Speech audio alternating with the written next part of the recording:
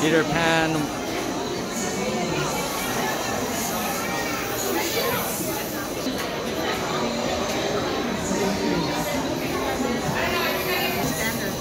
I know.